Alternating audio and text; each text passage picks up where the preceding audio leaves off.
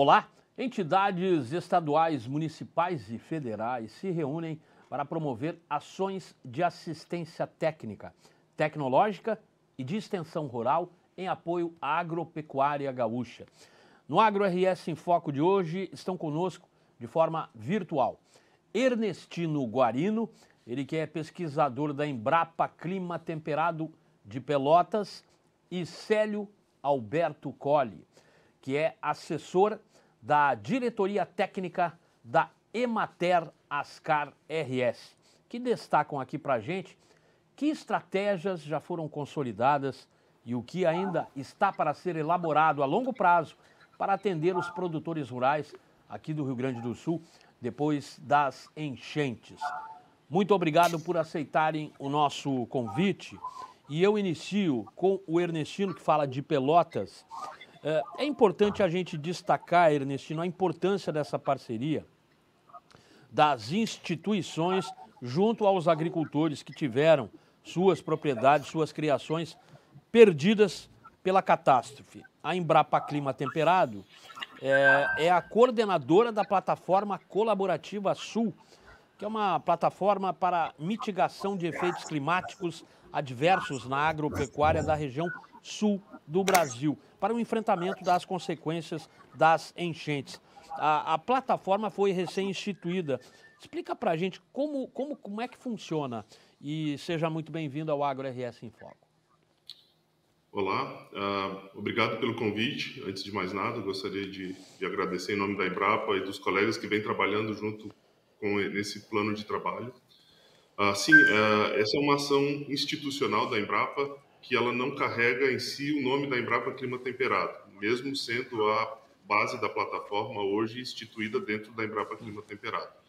Ela é uma, é uma plataforma colaborativa, como o nome já diz, com as sete unidades do sul do Brasil onde nós, uh, após um bom tempo de, de, de, discussão e debate, isso ao longo do ano que passou, 2023, nós chegamos à conclusão de que o melhor tema seria esse: como, uh, como a Embrapa poderia aportar conhecimento uh, para diminuir, para mitigar alguns efeitos das mudanças climáticas que, que estavam estão acontecendo, né, e estavam se, sendo previstas a partir daquele momento.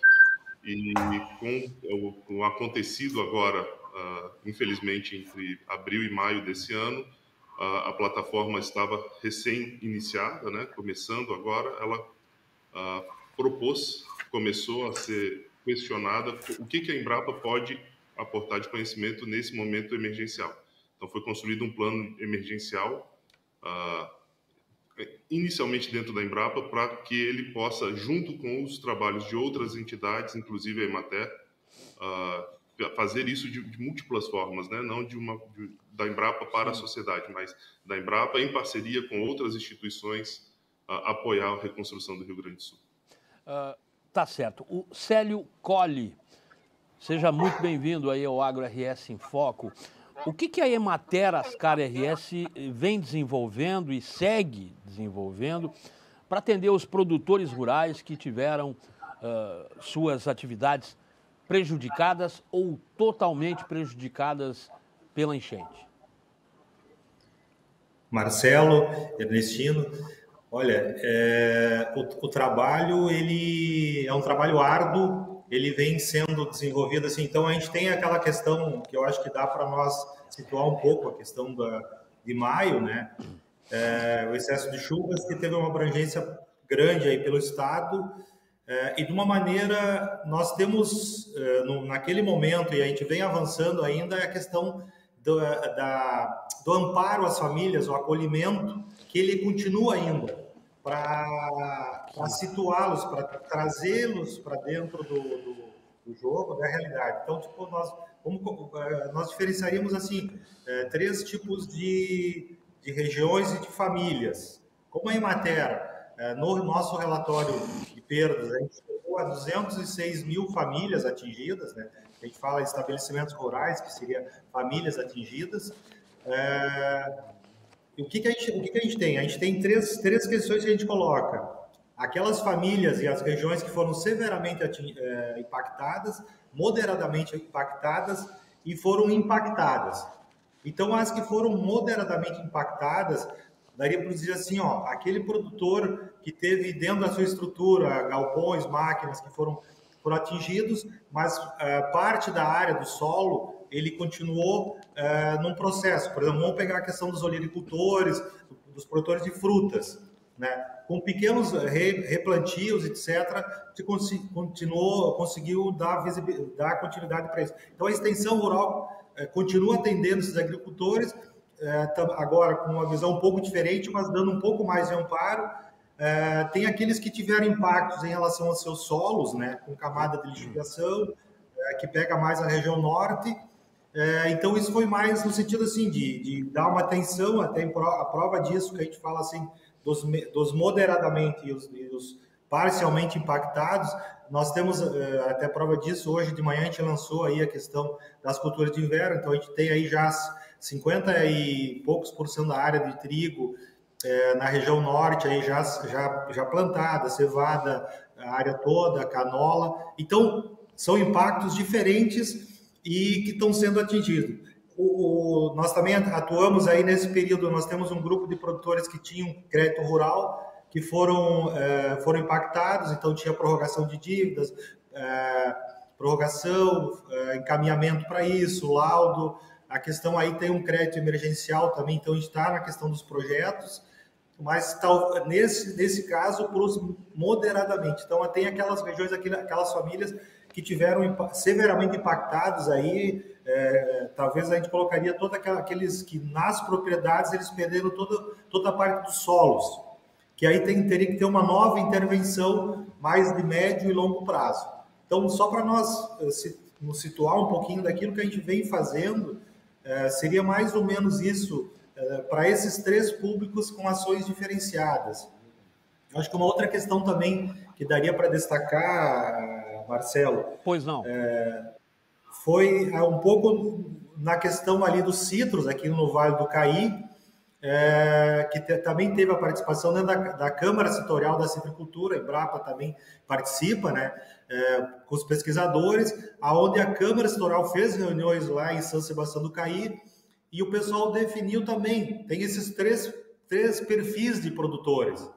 E a partir daí o pessoal vai, vão vai se fazer diagnósticos é, para fazer intervenções. Pra, e aí junta, tem, um, tem um diagnóstico e eu preciso de um, de, uma, de um pesquisador, eu preciso de um apoio mais técnico e, e tal. Você traz as instituições, traz a Embrapa, traz a URGS para ir fazendo as intervenções. Então, eu só eu trouxe aqui um exemplo do trabalho que a gente está fazendo junto Por com favor. a Embrapa, né? É, da questão dos citros, né? Que ele é, é, um trabalho com a Câmara Setorial que envolve mais instituições, além da extensão rural. Tá certo, tá certo. Ernestino, além da plataforma, que outras ações a Embrapa está desenvolvendo ou implantando para atender esses produtores rurais afetados pela maior catástrofe da história do Estado? Perfeito. Isso que foi colocado pelo colega da matéria é muito importante, porque nós, nós estamos nessa questão agora do, do qual é o tamanho do impacto, né? Então, isso a Emater está fazendo e está fazendo muito bem feito, qual é o impacto na produção e os diagnósticos nós vamos, como ele comentou, apoiar conjunto com outras instituições e avaliar quais são as necessidades futuras, tanto de pesquisa quanto de intervenção pontual, né? Ah, o que, a Embrapa está fazendo além disso? Nós estamos tendo, nós fizemos ações de solidariedade assim que aconteceu o evento, dentro da própria Embrapa, né, com seus funcionários e, e colaboradores, a doação de excedentes de, de, de pesquisa, como sementes e, e, outros materiais para doação para, os agricultores uh, minimamente continuarem suas ações de, de, diárias, né? E junto com a plataforma, nós estamos pensando ações de pesquisa de médio e longo prazo para que as ações que vierem a acontecer a partir de agora sejam mais adequadas do ponto de vista de uh, uso do solo, uh, restauração de, de, ecossistemas em APP, reserva legal, essas ações mais pontuais em, que demandam um pouco de pesquisa, um pouco de ação de capacitação. Então, de, ponto, de forma geral, é isso que a plataforma está se propondo a fazer e está começando a executar já. Uh, uh, sério, você, você como, como atuante na área, né, Emater Ascar RS, como é que vocês estão, qual é a maior dificuldade nesse primeiro momento em se tratando do produtor afetado? Aquele que perdeu praticamente tudo o que tinha. É, é acolhimento, é acolher a família, é, trazer, trazer para situar ele, é, no sentido dele ter uma segurança, é, mostrar para ele que ele não está sozinho, que nós estamos aí para amparar, é, ver o que ele precisa nesse momento e também para a partir daí começar a olhar para frente, porque a gente tem é, nessas, na, no meio rural, a gente tem um número grande de produtores com uma certa idade, então a gente tá, tu tem que olhar para frente. É, os que vão, nós vamos, e esses que estão nessa situação que você apontou, Marcel, é, de pensar, eu vou voltar a investir, né? Eu tenho crédito, eu tenho uh, outras fontes e tal para de, de para fazer investimentos, eu tenho Embrapa, eu tenho Mater, eu tenho, eu tenho a prefeitura, eu tenho, eu tenho uma, um amparo é, técnico e, e social para minha família eu tenho que pensar, se eu vou permanecer, então vem uma questão. Se no meio rural a gente já estava com essa questão da sucessão, né, da permanência dos jovens, a gente tem muitas famílias com uma idade um pouco, uh, um pouco avançada e, tem que, e, e, tinha jovens, então a gente tem que pensar um pouco nisso. A partir daí é, é trabalhar acolher, situar, é, talvez replanejar as atividades em determinados lugares, é, definir que não é possível mais fazer atividades, é, mudar talvez, adaptar a matriz produtiva dele dentro da propriedade em determinados lugares, fazer esse planejamento e os que permanecerem fazer um plano de ação aí de curto, de médio e longo prazo para justamente reestruturar essas famílias. Né? É uma decisão difícil, é uma coisa bem complicada. É bem, é bem complexo, né? Que como bem você, complexo, bem como complexo. você mesmo falou, tem jovens, né? E aí, aí vem outro problema também, muitos acabam abandonando, saindo daí, vão para a cidade grande, né, para estudar, enfim. Uh, Ernestino, aí em Pelotas, uh, o que, que vocês sentiram assim no primeiro momento, claro, uh, além do acolhimento, o, o sentimento de vocês que foram a campo? A, a situação muito complicada, né? Eu fui um dos que moro em uma área de risco, então eu fiquei alguns dias, eu não, não decidi, por, optei por não sair de casa.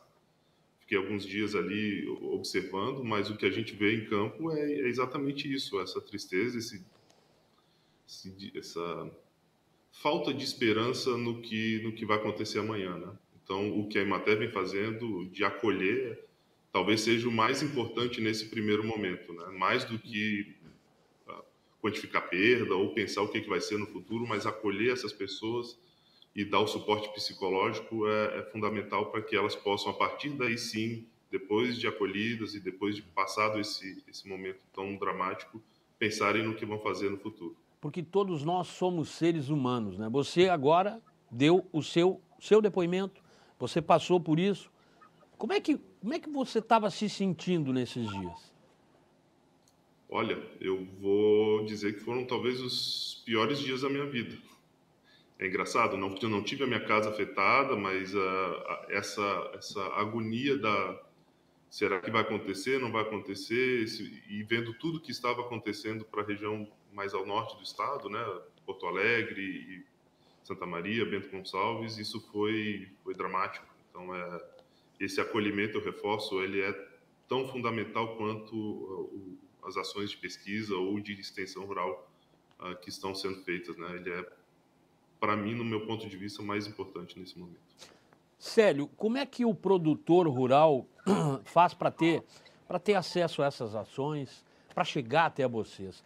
Só para o nosso telespectador ter essa, essa informação que é, que é importante também. Esse belo trabalho que vocês Perfeito. vêm fazendo. Perfeito.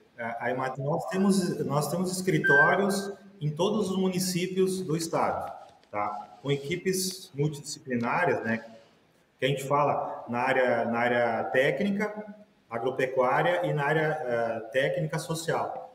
porque a nossa visão é a questão da família. Todos os municípios, o atendimento dos, aos agricultores ele é, ele é gratuito, tá? Tem algumas coisas que são que a gente acaba tendo uma remuneração pelo serviço, são a questão dos projetos de crédito, mas todos os municípios é, nós temos escritórios. O que está acontecendo desde da semana passada? É, na região de Lajeado, que tem uma sede do escritório regional em Lajeado, tem mais 40 municípios na volta, então mais ou menos a nossa administração da matéria tem uma administração em Porto Alegre, mais 12 regionais é, que apoiam as, mais ou menos em torno dos 40, 45 municípios de cada regional para nós ter os técnicos de apoio. Então, Lajeado é uma sede que tem 40 municípios. Então, essa região do Vale do eh, os municípios pertencem a Lajeado, o que, que nós estamos fazendo? Como tem uma demanda muito alta, um número muito grande de famílias e muito trabalho, nós estamos deslocando técnicos de outras regiões eh, até os municípios, aí pega a questão de Cruzeiro do Sul, Roca Salles, Mussum, para dar apoio para os nossos colegas. Então, os nossos colegas de outros municípios chegam até, até os municípios, eles acabam fazendo um trabalho mais de escritório, que é encaminhamento de uh, projeto de crédito, uh, o cadastro da agricultura familiar, a CAF, uh, fazer a parte de atualizações para deixar o agricultor em dia dentro da, da, dos aspectos legais e tal, para eles acessar políticas, a questão de todo, todo, toda a rede de apoio. E os técnicos dos municípios que conhecem, eles passam praticamente os dias, todos os dias aí, uh, no apoio às famílias. Então, uh, é uma, uma coisa bastante importante, Marcelo, a se colocado, essa nossa rede e esse conhecimento dos técnicos, porque a gente tem técnicos nos municípios, eles estão há muito tempo. Então, eles participam das, dos conselhos, uh, eles conhecem a comunidade, eles moram, trabalham dentro da, do, dos próprios municípios. Então, tá. por exemplo, as regiões aí do Vale Taquari, né, eles acabaram servindo até de guia para fazer resgates em comunidades distantes, né? Então, é, é, é só chegar rede... no escritório. Exatamente. É uma rede, uma rede que nós é. isso que nós atendemos eles aqui. Eu sou da área do crédito rural. Eu, eu, eu atendo os colegas da região a partir das demandas deles também. Tá certo. Bom, agora eu vou pedir licença para vocês, porque a gente vai rodar uma matéria que a nossa equipe da TV Assembleia gravou em uma propriedade de hortaliças aqui no Lami, que fica no sul de Porto Alegre. O nosso repórter Clayton Fortunato falou com o produtor rural sobre os impactos das enchentes nas suas lavouras e como é que está a situação depois desse desastre climático. Vamos conferir. O resultado das chuvas mais recentes a gente percebe logo no acesso à propriedade do Regis, no extremo sul de Porto Alegre.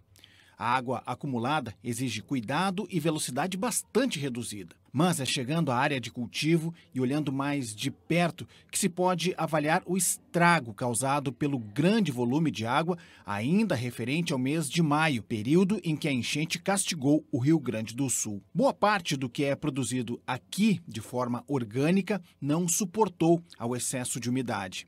O resultado, a variedade de folhosas comercializada nas feiras pelo produtor reduziu muito. Isso quando foi possível ter novamente o que apresentar ao consumidor. Na realidade, nas primeiras quatro semanas de, do início de junho, do, do, final de maio, início de junho, eu realmente não tinha absolutamente nada para comercializar, né?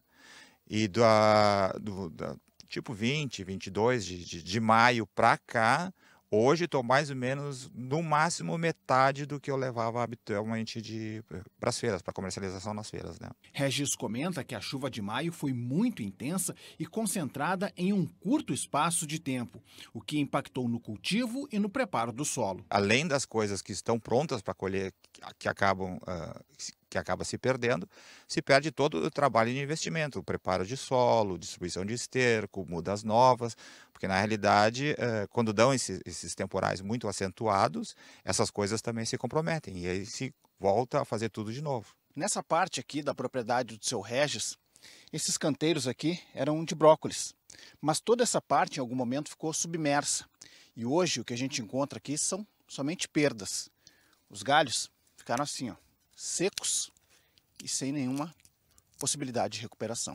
Em uma outra cultura, na alface, por exemplo, Regis explica que é preciso avaliar, que ainda dá para salvar. Normalmente, o centro da alface a gente consegue aproveitar. Então, quando colhe essa aqui, que ainda tem folhas uh, deterioradas, no momento da colheita elas são descartadas, né? E fica só com o miolo. Qual é o tempo de cultivo do alface? A alface, porque normalmente a gente faz a produção de mudas em outro local. Uh, no verão, em torno de quatro semanas. No inverno, entre seis e sete semanas depois de transplantado para o campo. Quer dizer, agora que o senhor está conseguindo tentar recuperar o que foi de maio lá. Sim. Na, na realidade, essa aqui ainda é fruto ainda da enchente. As outras já estão um pouco mais uh, desenvolvidas. No processo de replantio, Regis buscou uma parte mais alta do terreno, mas que também foi castigada com as chuvas mais recentes. Bem aqui ao fundo, a gente está com o seu Regis aqui para mostrar essa parte foi plantada recentemente, né, seu Regis? Para tentar uma parte mais alta, né, para tentar escapar da chuva, mas mesmo assim é incerteza, né, porque veio chuva ainda, né? Na realidade, a intensidade da chuva é tão grande que desestrutura todo o solo, né? Então, uh, vai ter que ser toda ela refeita de novo para a condição da planta desenvolver. Uhum. O que, que o senhor plantou aqui, né? E a gente vê, percebe que ainda está o solo bastante úmido ainda, né? Aqui foi plantado cenoura, né? Mas boa parte já morreu, principalmente porque a semente deve ter apodrecido pelo excesso de umidade. E a outra parte que está nascendo, uh, não sei se vai vingar, porque o solo vai acabar ficando compactado e nós vamos ter que ver como fazer depois para fazer, para dar condição de desenvolvimento da planta. Isso já é chuva de agora, né. Regis? Isso foi de quarta para quinta da semana passada, que aqui medido 120 milímetros. E também tem previsão de geada, né? Isso também complica. Né? Ah, sem dúvidas, porque na realidade a planta já está desequilibrada pela adversidade climática, ela fica fraca e aí fica super suscetível a qualquer tipo de doença. Quer dizer, é um prejuízo incalculável porque ainda não parou, né? Não, ainda não. Vamos ver o que vai acontecer assim ao longo do tempo, né? Mas apesar de tudo, Regis enfatiza que desistir não é opção. Vamos tocar de frente, vamos ver o que, que acontece, né? Essa é a vida do produtor, né? É, sempre é um, um, uma inconstância, digamos assim, é como se diz, a indústria céu aberto. É aí o, o seu Regis, um dos tantos milhares de produtores afetados por essa catástrofe, há bastante trabalho para se fazer, mas ele, ele é um dos que vai seguir em frente, né, Marcelo? Não, perfeito. Eu acho que essa, essa força do Regis é justamente é, é, essa parte técnica da extensão rural, da pesquisa, para trazer soluções para ele justamente é, continuar na atividade. Essa motivação, é, o Regis ele mostrou a questão da motivação dele, mas é esse é o trabalho da extensão rural, chegar no produtor, acompanhar ah, e trazer de novo ele para dentro do processo de, produtivo, né? Também, Marcelo, acho que é bem importante até essa questão é, um dos problemas que foi impactou muito foi a questão da logística. Então, por exemplo, a Ceasa, a Ceasa aqui de Porto Alegre, que mais ou menos em torno de 54% de toda a produção de, de olerícolas, ela Sim. passa por dentro da Ceasa, do estado, ela trocou, ela foi, eles tiveram, foi, ficou alagada, é, mudou de local lá rapidamente, prontamente eles encontraram outro local para os agricultores é, conseguirem chegar, mas uma boa parte desses produtores eles não conseguiam trazer os seus produtos. Então, o Regis, como ele mostrou, ele teve parte dos produtos que foram atingidos, mas uma parte estava apta para ser comercializada. comercializada. E mesmo assim, teve essa questão da logística das estradas e tal, que impediam essa questão da comercialização. E um dos papéis muito importantes, por exemplo, da, da extensão rural, dos colegas, dos nossos colegas dos escritórios, foi arrumar mercados através de formas alternativas de trans, tá transporte e comercialização é, para justamente fazer com que esse produto chegasse ao consumidor. Tá certo. Antes da, do programa, o nosso tempo, ele, o programa, quando o programa é bom, o, o assunto rende, o tempo passa voando. Uh, no, num dos programas recentes do AgroRS em Foco, a gente conversou com um especialista sobre recuperação do solo. Qual é o, a, que estratégias a, a Embrapa eh, juntamente com a Emater, tem implantado, Ernestino, para auxiliar os produtores rurais nesse aspecto? Bom, a primeira coisa, ah, eu acredito, é o diagnóstico bem feito, né? Então, saber qual é o problema é, facilita a decisão.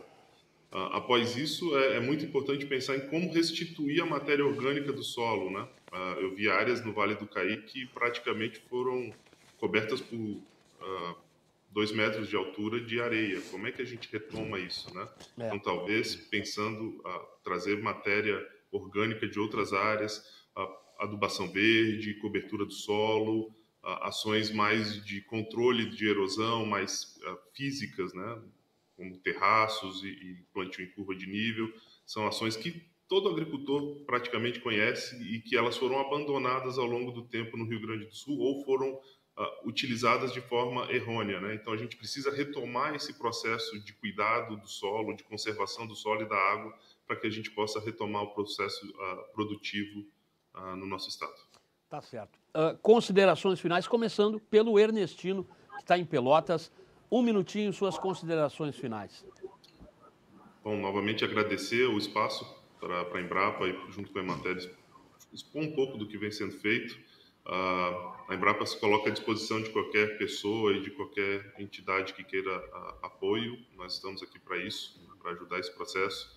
A gente tem que mudar um pouco o nosso, nosso, nosso modo de pensar a agricultura. Isso eu acho que é uma, uma coisa fundamental. Eu sei que é muito complicado a gente falar isso agora, mas a gente tem que pensar em, em, situações onde a árvore entra como eu sou engenheiro florestal não poderia deixar de passar um programa como esse uh, inserir a árvore no sistema produtivo existem várias formas de, fazer isso desde sistemas muito simples como ILPF até sistemas agroflorestais que podem auxiliar ou na redução desse impacto ou até mesmo na mitigação desses impactos da, da, da, das chuvas né então é pensar numa nova forma de agricultura e retomando também velhos conhecimentos que são que foram abandonados ao longo do tempo. Tá Mas é certo. é isso. Muito obrigado mais uma vez. Tá certo, Ernestino. Agora, Célio Colli, suas considerações finais. Um minuto, por gentileza. É, a questão é, é, é, o planejamento da família, das atividades, né? E eu acho que eu gostaria de, de, de, de colocar em matéria à disposição nos escritórios, para o pessoal procurar. Nós estamos é, nós, é, o, processo, o processo de ação dos, das famílias no meio rural é um processo que tem que ser continuado, né? sempre contínuo, e mais ainda agora, nesse, nessas, nessas regiões que foram mais atingidas, então aquela que a gente fala severamente atingidas, né? é um processo contínuo é, de construção de curto, médio e longo prazo. É, e também alertar aí a questão da, da, das perdas de solo, né? Nós estamos vendo aqui as regiões onde, onde teve a mancha, que foi inundado, mas a gente tem no estado como um todo, né? É, Nestino também apontou na questão da, da Embrapa. Eu acho que a gente tem que começar a retomar aí e cuidar do nosso solo.